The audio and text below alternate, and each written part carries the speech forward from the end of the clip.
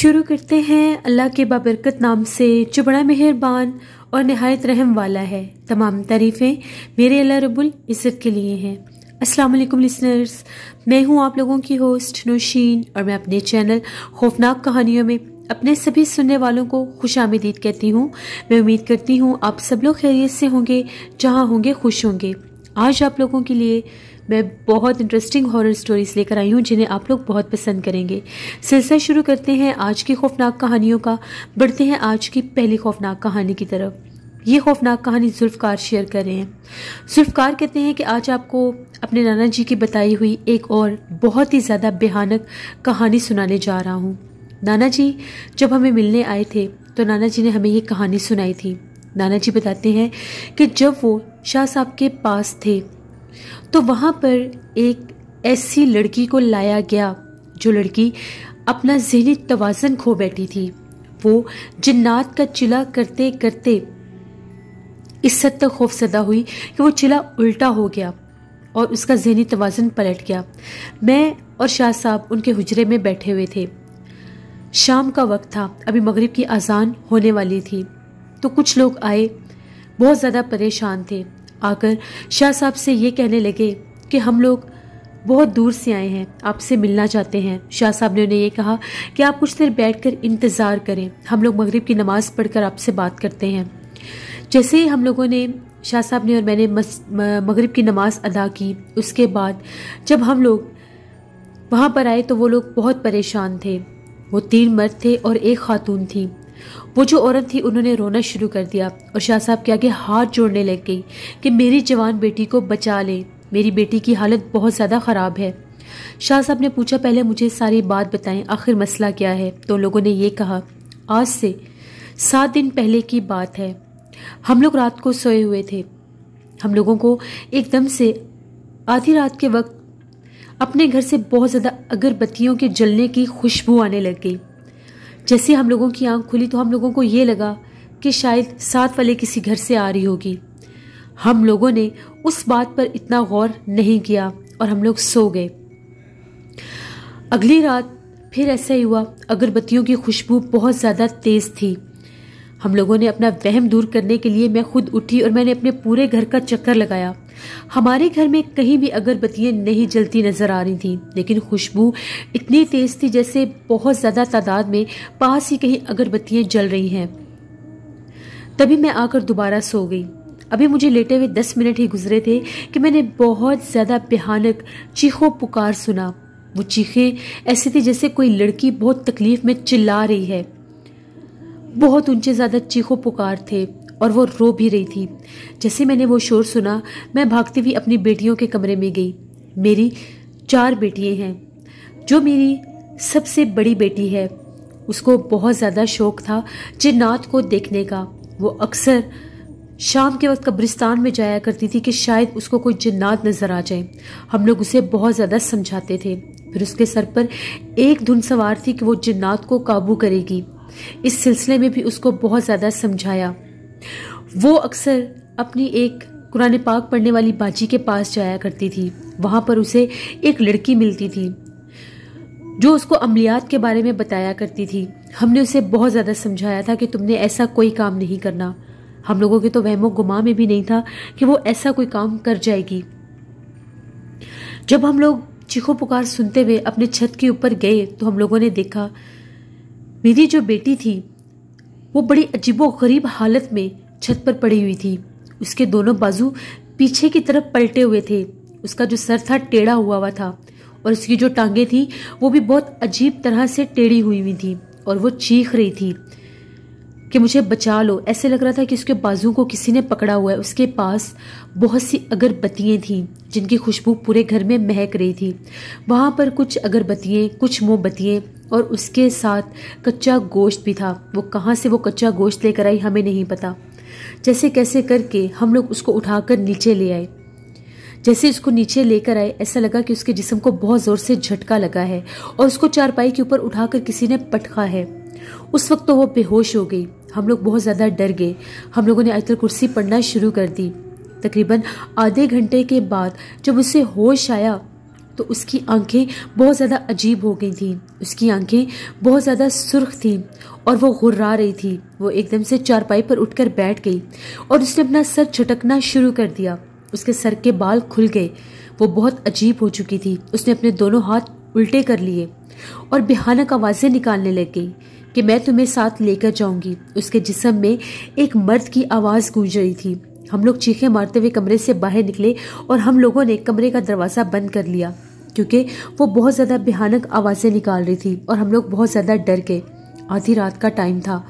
आस पड़ोस के लोगों ने भी हमसे पूछना शुरू कर दिया कि आप लोगों के घर से ये ड्रावनी आवाज़ें कहाँ से आ रही हैं? कभी वो ऊँचा ऊँचा हंसती थी, कभी कमरे की चीज़ें उठाकर फेंकती थी। यहाँ तक कि उसने दरवाजे को भी पीटना शुरू कर दिया। वो आवाज़ उसकी लग ही नहीं रही थी।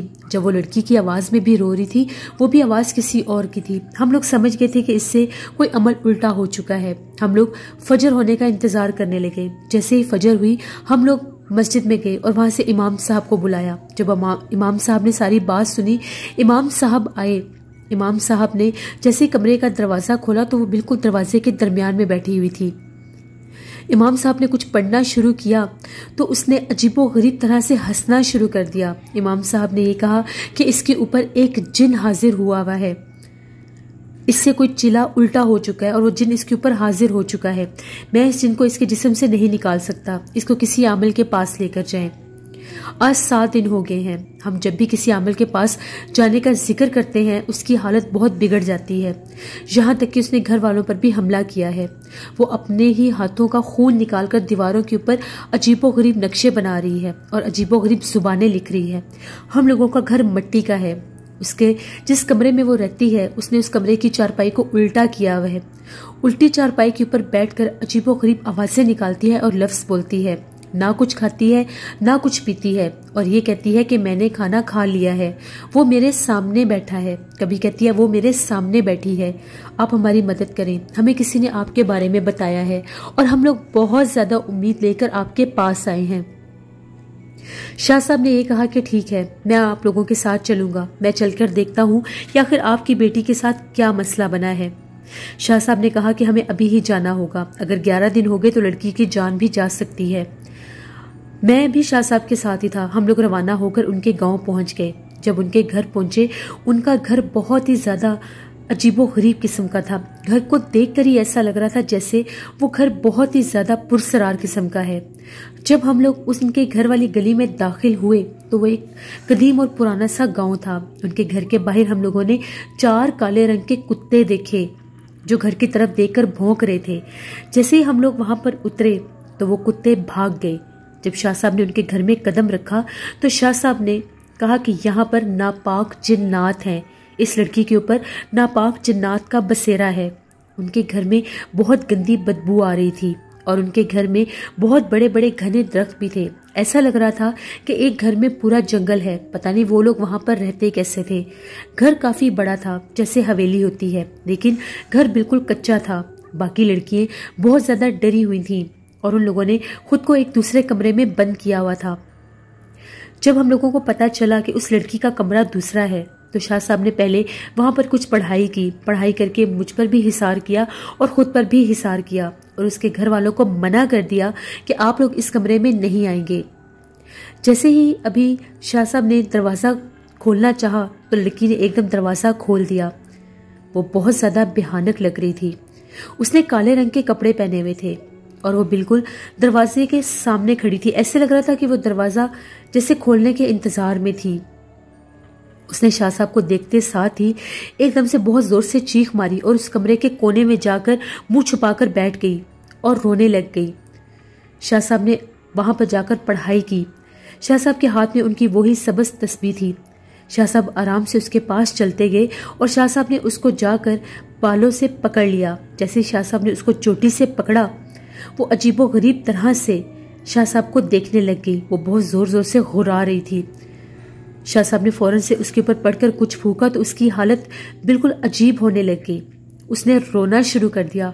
उसकी आँखों से बहुत ज़्यादा आँसू बह रहे थे। उसका चेहरा बहुत बेहानक हो चुका था। उसका जो होंठों वाली जगह होती है, वो बहुत ज़्यादा अजीब तरह से खुल गई थी।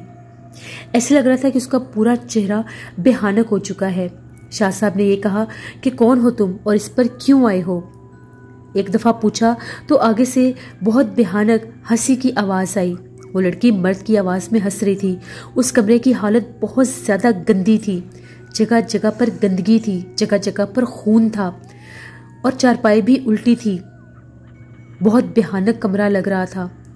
शाह साहब ने उसको वहीं पर बिठा दिया। वो बैठ गई। शाह साहब ने उसको बालों से पकड़ा हुआ था। शाह साहब ने पूछा, दोबारा पूछता हूँ कौन हो? इस पर क्यों आए हो? तो उसने ये बताया कि इसने मेरा चिला शुरू किया था। जैसे इसने मेरे चिले की पढ़ाई की, इसने तीन दिन की पढ़ाई दो दिन में ही पूरी कर दी। तो मैं हाजिर हो गया। जब मैं हाजिर हुआ तो ये मेरा चेहरा बर्दाश्त नहीं कर सकी। ये हिसार से उठकर भागी और मैंने इसको जकड़ लिया। अब मैं इसको नहीं छोड़ूँगा। अब मैं इसके साथ ही रहूँगा। अब मैं इसके जिसम में ही रहूँगा। अब मैं इससे शादी करके इसको अपने साथ ले जाऊँगा। शाह साहब ने ये कहा कि इस लड़की से गलती हो गई है, इसको छोड़ दो। उसने ये कहा कि इसने मुझे खुद बुलाया है, इसने मुझे खुद हाजिर किया है, मैं नहीं जाऊँगा। शाह साहब ने पूछा कि तुम कहाँ पर रहते हो, कहाँ से आए हो? तो उसका ये कहना था कि मैं फलां फलां गाँव के एक पुराने गंदे नाले का रहने वाला जिन हूँ, वहाँ पर कोई भी नहीं आता। मैं एक नापाक जिन हूँ। मैं अक्सर वहाँ पर बहुत से लोगों को तंग भी करता हूँ, लेकिन जब इसने मुझे चिले के लिए बुलाया तो मैं इसके पास आ गया। इसने सारी पढ़ाई दो दिन में ही ख़त्म कर दी थी तो मैं हाजिर हो गया और ये मुझे देखकर डर गई। उस लड़की का चेहरा बहुत भयानक था। शाह साहब ने कुछ पढ़ाई पढ़नी शुरू की। शाह साहब ने अपनी सब तस्बी को उसी हाथ में पकड़ा, जिस हाथ में शाह साहब ने उसके बाल पकड़े हुए थे। अब शाह साहब के वही हाथ उसके सर के ऊपर था तो एकदम से वो लड़की मछली की तरह तड़पने लग गई, लेकिन शाह साहब ने उसके बाल नहीं छोड़े। तभी उस लड़की के जिस्म को एकदम से झटका लगा और बकायदा महसूस हुआ कि कोई काली सी परछाई है जो उसके जिस्म से अलग हुई है। वो लड़की वहीं पर गिरी और बेहोश हो गई। तभी हम लोगों ने खुद देखा, मैंने भी अपनी आँखों से देखा। उसी कमरे के कोने में एक काले रंग का अजीबो गरीब वजूद नमूदार हुआ। वो बहुत ज़्यादा भयानक था। उसका बहुत छोटा सा कद था। वो वही जिन था जो उस लड़की के ऊपर आया था। उसका चेहरा देखकर मेरे भी रोंगटे खड़े हो गए। उसका बहुत खौफनाक जिस्म था। उसकी बहुत लंबी दुम भी थी। उसका जो चेहरा था, वो बिल्कुल ऐसे था जिस तरह से किसी जानवर का मुँह होता है। उसका चेहरा बिल्कुल एक भयानक गधे की तरह था। बहुत बड़ा उसका चेहरा था और उसके सर के दरमियान में बहुत बड़ा सींग था और जिसम बिल्कुल छोटा सा था और कद भी छोटा सा था। वो उस कोने में जाकर बैठ गया। शाह साहब उसके पास गए। शाह साहब ने जैसे ही अपनी पढ़ाई पूरी की, अपने हाथ के साथ शाह साहब ने एक हिसार खींच दिया। वो उस हिसार से बाहर नहीं आ सकता था। शाह साहब ने यह कहा कि अब इस लड़की को छोड़ोगे या मैं तुम्हें जला दूँ? शाह साहब जो थे, वो बिल्कुल असल सैयद थे और गद्दी नशीन पीर भी थे। जिन्नात भी उनसे डरते थे। उस जिन ने यह कहा कि मुझे जलाए मत, मैं वापस चला जाऊँगा। इस लड़की के पास कभी भी नहीं आऊँगा। बस मेरी एक शर्त है इस लड़की को रात 12 बजे कब्रिस्तान में जाकर, किसी पुरानी कब्र के पास जाकर, वहाँ पर कच्चा गोश्त रखना होगा। मैं वो कच्चा गोश्त वहाँ से लेकर चला जाऊँगा और उसके बदले में इसकी जान बख्श दूँगा। अगर इस लड़की के साथ इसके घर का कोई फर्द गया तो मैं उसकी भी जान ले लूँगा। मेरी शर्त यह है कि ये लड़की नंगे सर और नंगे पाँव कब्रिस्तान जाएगी।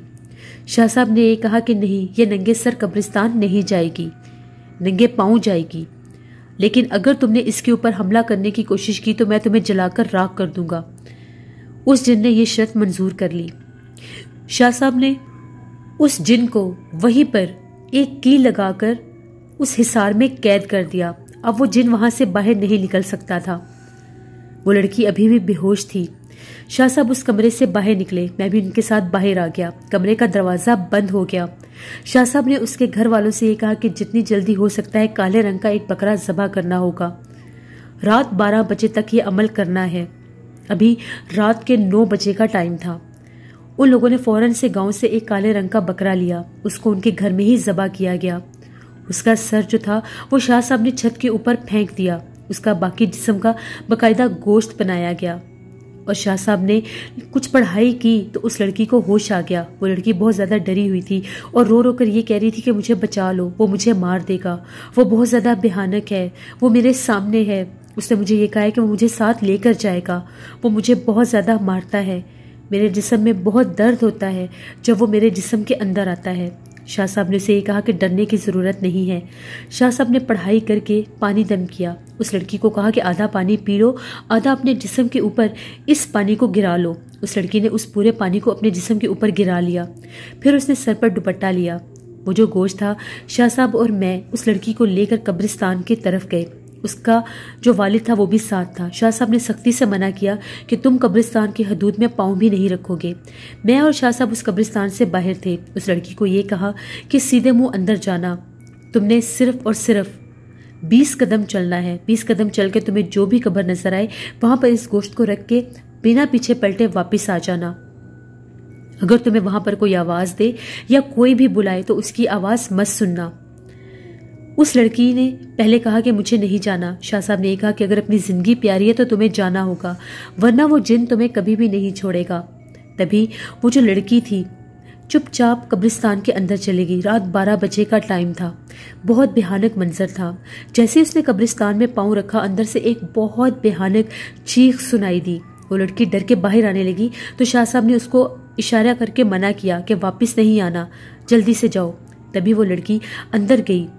और तकरीबन 10 से 15 मिनट के बाद वापस भागती भागती आई।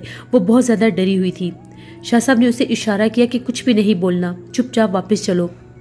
जब उनके घर पहुँचे तो उसकी बहनें बहुत ज़्यादा डरी हुई थी। उन लोगों ने ये कहा कि इस कमरे से बहुत ज़्यादा भयानक आवाज़ें आ रही हैं। कोई ज़ोर ज़ोर से दरवाज़ा पीटता है और ये कहता है कि मुझे बाहर निकालो, मुझे जाना है, मुझे बाहर निकालो, मुझे जाना है। वो लड़की जो थी, उसकी हालत भी बहुत ज़्यादा ख़राब हो चुकी थी। उसे बहुत सा बुखार था। जब उसे घर लेकर आए तो शाह साहब ने उससे ये पूछा कि क्या तुम्हें कब्रिस्तान में कुछ नज़र आया था? तो उस लड़की ने ये कहा कि जैसे मैंने कब्रिस्तान में चलना शुरू किया तो मेरे दाएँ बाएँ बिल्कुल कोई दो औरतें चल रही थीं। वो बहुत ज़्यादा भयानक थीं। उनके सर के बाल बहुत ज़्यादा लंबे थे। तभी वो तेज़ तेज़ चलती चलती उस कब्र के पास जाकर खड़ी होगी जहाँ पर मुझे जाना था। एकदम से उनकी शक्लें मेरी बहनों की हो गई, लेकिन उनके जिस्म बहुत ज़्यादा ड्रावने थे, उनके जिस्म के ऊपर बहुत ज़्यादा काले बाल थे और उनके सर के बाल इतने लंबे थे जो बहुत ज़्यादा कब्रों पर फैले हुए थे। मुझे बार बार बुला रही थी, मेरा नाम ले लेकर ये कह रही थी, आसिया, हमारे पास आओ। आसिया, देखो, हम भी यहाँ पर आ गई हैं, हमें भी बचा लो, उस जिन ने हमें भी पकड़ लिया है। लेकिन मैंने उनकी कोई बात नहीं सुनी। जैसे मैंने वहाँ पर गोश्त रखा तो एकदम से वो जानवरों की तरह उस गोश्त के ऊपर झपट गई और मैं वहाँ से वापस भाग गई। जब मैं भाग रही थी तो उनके बाल सारी कब्रों के ऊपर फैले हुए थे। मैं बहुत मुश्किल से वहाँ से भागी हूँ। शाह साहब ने फिर से पानी दम किया और उस लड़की से कहा, इस पानी को पी लो। फिर शाह साहब ने ये कहा कि, अब इस लड़की को लेकर आप लोग दूसरे कमरे में चले जाएँ। मैं और शाह साहब उस कमरे में गए, जहाँ पर शाह साहब ने उस जिन को कील करके हिसार किया था। जब हम लोग उस कमरे में गए तो उसका हुलिया और भी ज़्यादा भयानक हो चुका था। अब उसका एक चेहरे की जगह दो चेहरे थे और वो बहुत ज़्यादा भयानक लग रहा था और गधे की तरह हाँक रहा था और एक मुँह ये कह रहा था कि अब मुझे छोड़ दो, मेरा हिस्सा वहीं पड़ा है, मुझे जाकर लेना है। वो बाकी का हिस्सा वो लोग ले जाएँगे। शाह साहब ने उसे ये कहा कि अब तुम यहाँ से आज़ाद होते हो। अगर तुम दोबारा इस लड़की के ऊपर आए तो मैं उसी टाइम तुम्हें हलाक कर दूँगा, तुम्हें जलाकर राख कर दूँगा। तभी शाह साहब ने उसे ये कहा कि यहाँ से जाने से पहले अपनी निशानी देकर जाओ। तो उसने उनके ही घर में लगे उन दरख्तों में से एक दरख्त के कुछ तने तोड़ दिए। एकदम से आंधी आई और एक दरख्त का तना टूटकर ज़मीन पर गिर गया और वो काले रंग का धुआँ बन के वहाँ से गायब हो गया। उस कील को शाह साहब ने वहाँ से नहीं निकाला। जब शाह साहब उस कमरे से बाहर आए तो शाह साहब ने वहाँ पर एक तावीज़ बाँध दिया और ये कहा कि इस कमरे को भूल कर भी ज़िंदगी में दोबारा नहीं खोलना। जितनी जल्दी होता है, इस घर को छोड़ दो, वरना यहाँ पर अब आसेब और जिन्नात का बसेरा हो चुका है। वो जिन ना भी आए तो यहाँ पर कोई भी जिन अगर गुजरेगा तो अपना बसेरा कर लेगा और इस लड़की को नुकसान भी पहुंचाएगा। ग्यारह दिन से पहले इस घर को छोड़ दो। अभी आप लोगों को सात दिन हुए हैं। ग्यारह दिन से पहले आप लोगों ने इस घर को छोड़ना है। तभी उन लोगों ने ये कहा कि हम लोग कल ही इस गाँव को छोड़कर यहाँ से चले जाएँगे। फिर शाह साहब ने उस लड़की को एक तावीज़ बना कर दिया और शाह साहब ने ये कहा कि इस तावीज़ को मरते दम तक अपने गले से मत उतारना। जिस दिन तुमने ये तावीज़ अपने गले में से उतारा, तुम्हें दोबारा से दौरे पड़ने लग जाएँगे। वो जिन तो तुम्हारे ऊपर नहीं आएगा, लेकिन बाकी के जिन्ना तुम्हें डराना शुरू कर देंगे। हम लोग जब वहाँ से वापस आए तो शाह साहब की तबीयत भी कुछ ख़राब थी। शाह साहब ने यह कहा कि वो जिन बहुत ज़्यादा ताकतवर था। अगर उस जिन के, इस लड़की के ऊपर से उस जिन को ना हटाया जाता तो वो जिन इस पूरे ख़ानदान को ख़त्म कर देता, क्योंकि उस लड़की ने जाने अनजाने में उस अमल को गलत कर दिया था और उसने तीन दिन का अमल दो दिन में पूरा कर लिया था। ना ही वो आमिल थी और ना ही उसको इस अमल की इजाज़त थी, जिसकी वजह से उस जिन ने उसको जकड़ लिया था। उसके बाद हम लोग बिल्कुल नॉर्मल हो गए। शाह साहब की तबीयत भी ठीक हो गई।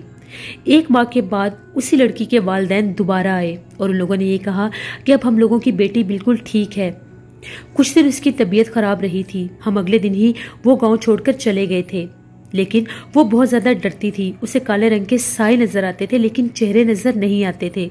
अब हम लोग अपनी बेटी की शादी करना चाहते हैं। जब शाह साहब ने पढ़ाई की तो शाह साहब ने ये कहा कि नहीं अभी आप लोग तीन माह तक उसकी शादी नहीं कर सकते।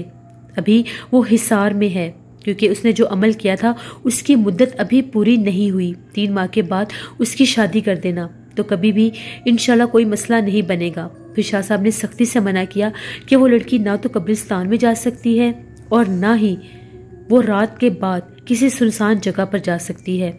और अगर उसके गले में से गलती से भी वो तावीज़ उतरा तो उसकी जान को भी खतरा होगा। फिर तीन माह के बाद वो लोग दोबारा आए। उस लड़की को भी साथ लाए। शाह साहब ने पढ़ाई की। तो शाह साहब ने ये कहा कि अब ये लड़की काफ़ी हद तक ठीक है। वो पाँच वक्त की नमाज़ पढ़ती थी, कुरान पाक पढ़ती थी और अल्लाह से रो रो के माफ़ी मांग चुकी थी कि जो कुछ उससे हुआ था वो दोबारा ज़िंदगी में ये नहीं करेगी। फिर उसने बताया कि उसको वहाँ पर पढ़ने वाली उस लड़की ने एक अमल बताया था और ये कहा था, इससे तुम्हारे कब्जे में एक जिन आएगा जो तुम्हारे सारे काम कर देगा। बाद में जब उन लोगों ने जाकर उस लड़की का पता किया तो उस लड़की का कहीं नामो निशान भी नहीं था। वो इंसानी रूप में कोई इंसान थी या कोई और मखलूक कोई नहीं जानता। ये एक स्टोरी थी जो नाना जी ने हमें सुनाई और मैंने आपके साथ शेयर की। बहुत शुक्रिया जुल्फकार आपका। लिसनर ये थी आज की खौफनाक कहानियाँ अपना फीडबैक मुझे ज़रूर दें। आप लोगों को कैसी लगी? आप लोग भी अपनी खौफनाक कहानियाँ शेयर कर सकते हैं। डिस्क्रिप्शन बॉक्स में दिए गए e mail I D Nusheen fifty seven eight G mail dot com पर। इसके अलावा आप लोग मुझे कमेंट बॉक्स में भी स्टोरी शेयर कर सकते हैं। इनशाला कल आप लोगों के साथ फिर मुलाकात होगी। किसी नई खौफनाक कहानी में। जहाँ रहें, खुश रहें, अपना बहुत सा ख्याल रखिएगा। Thank you for watching stay blessed Allah निखेबान